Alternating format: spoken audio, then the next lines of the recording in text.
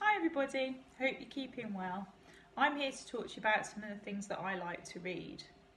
Most of what I tend to read is non-fiction, so true stories, um, and it's mainly linked to either science or nature or both.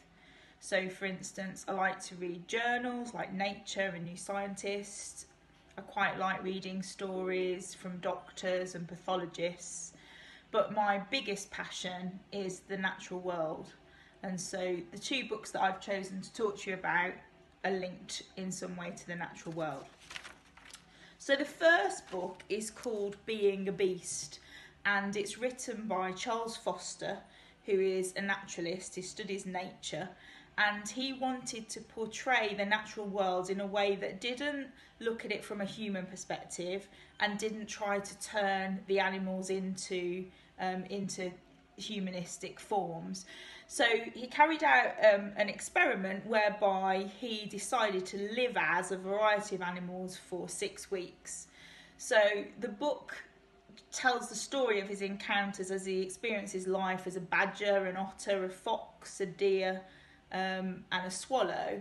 And so, for instance, as he's describing his time living as a badger, he lives in a hole and he eats earthworms, and it's quite an eccentric um, story.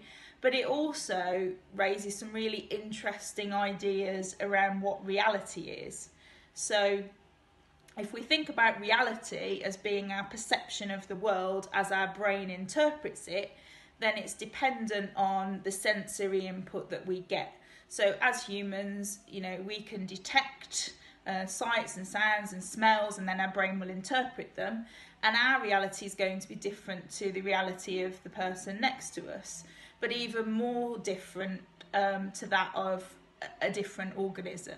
So it was it was like a heartwarming um, interesting encounter but it also raised some scientifically interesting concepts um, if you're interested in reality, there is another writer called David Eagleman who's also produced some documentary stories that explores the whole idea of reality um, and some sort of interesting anecdotal representations from nature.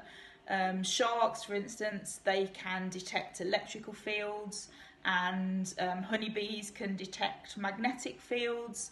So the the reality that they experience as, as organisms is very different from from that that we would experience. So I'd recommend this book as an interesting way of looking at nature um, from a slightly different perspective and also questioning our idea of what reality is. The second book um, is called Penguin Lessons by Tom Michell. Um, and this is an, in, an incredible true story that seems too incredible to be a true story.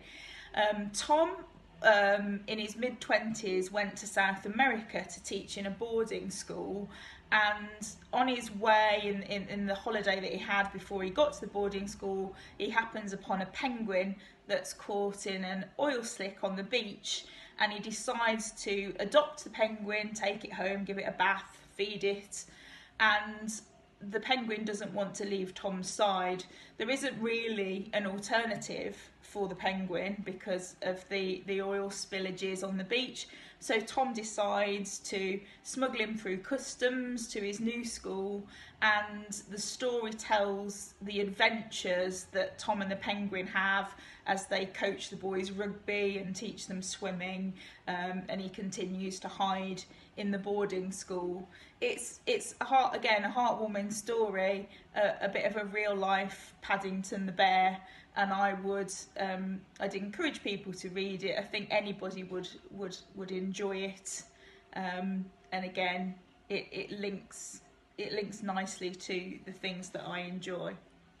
So those are my two little snippets. Um, I hope that you continue to keep well, and I would like to see you all soon.